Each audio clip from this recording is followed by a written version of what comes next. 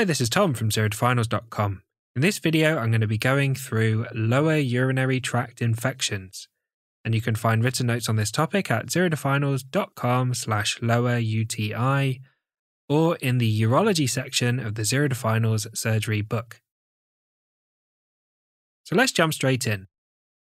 Lower urinary tract infections, or UTIs, involve infection in the bladder, causing cystitis, which is inflammation of the bladder. They can spread up to the kidneys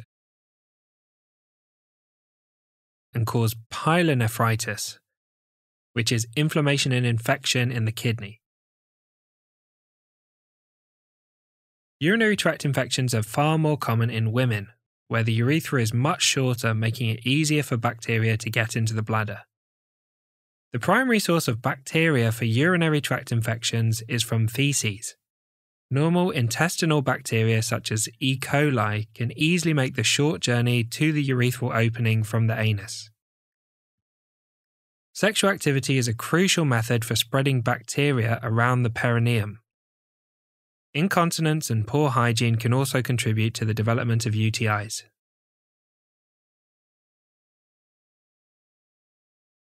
Urinary catheters are also a key source of infection, and catheter associated urinary tract infections tend to be more significant and challenging to treat. Let's talk about the presentation. A typical lower urinary tract infection presents with dysuria, which is pain, stinging, or burning when passing urine, suprapubic pain or discomfort, urinary frequency, urinary urgency, incontinence of urine, hematuria, which is blood in the urine, cloudy or foul smelling urine, and confusion, which is commonly the only symptom in older or frail patients. A Tom tip for you it's important to distinguish between patients who have a lower urinary tract infection and those with pyelonephritis. Pyelonephritis is generally a more serious condition with significant complications, including sepsis and kidney scarring. Suspect pyelonephritis in patients with a fever, loin or back pain, nausea or vomiting, and renal angle tenderness on examination.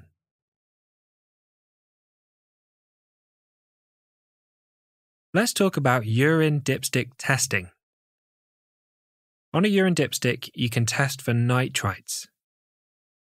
Gram negative bacteria such as E. coli break down nitrates, which are a normal waste product in urine, into nitrites, the presence of nitrites suggests bacteria in the urine.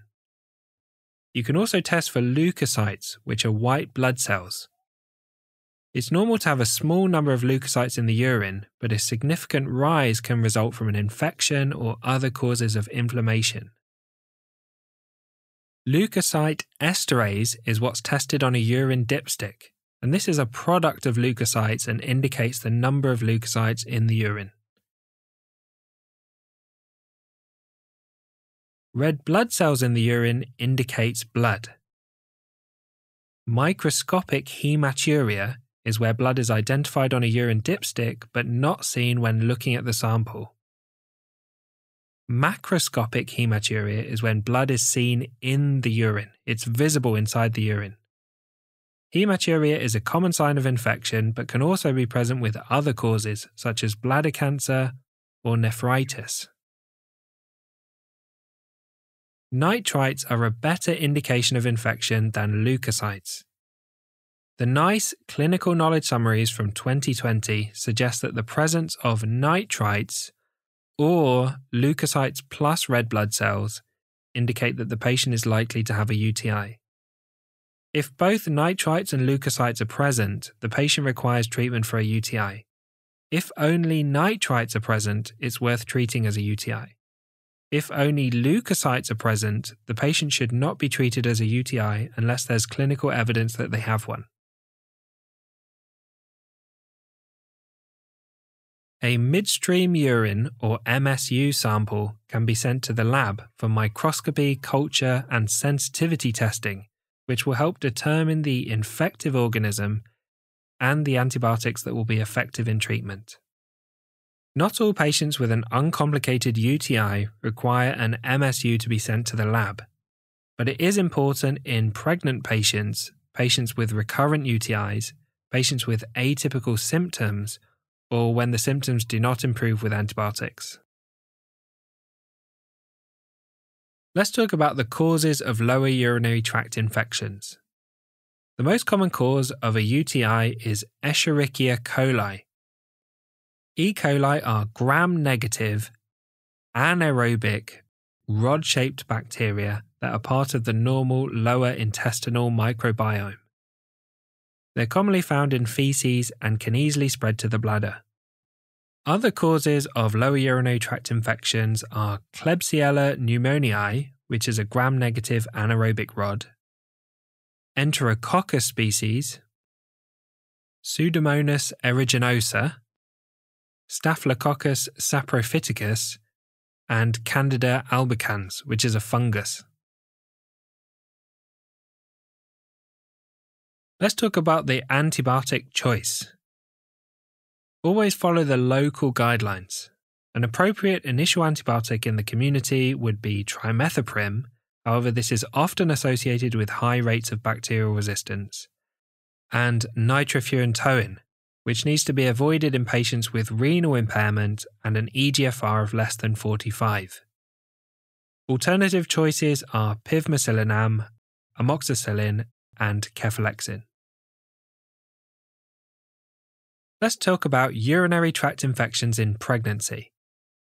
In pregnant women, urinary tract infections increase the risk of pyelonephritis, premature rupture of membranes, and preterm labour. The management is slightly different in pregnancy. Urinary tract infections in pregnancy require seven days of antibiotics. All women should have a midstream urine sent to the lab for microscopy, culture, and sensitivity testing. The antibiotic options are nitrofurantoin, however, this needs to be avoided in the third trimester, amoxicillin, but only after sensitivities are known, or cefalexin. Nitrofurantoin needs to be avoided in the third trimester as there's a risk of neonatal hemolysis, or destruction of the neonatal red blood cells. Trimethoprim needs to be avoided in the first trimester as it works as a folate antagonist. Folate is essential in early pregnancy for the normal development of the fetus, which is why we give pregnant women folic acid supplementation. Trimethoprim in early pregnancy can cause congenital malformations, particularly neural tube defects such as spina bifida. It's not known to be harmful later in pregnancy, but is generally avoided unless necessary.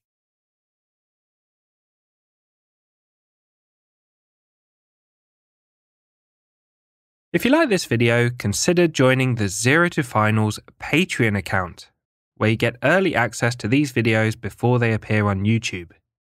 You also get access to my comprehensive course on how to learn medicine and do well in medical exams, digital flashcards for rapidly testing the key facts you need for medical exams, early access to the Zero to Finals podcast episodes, and question podcasts which you can use to test your knowledge on the go.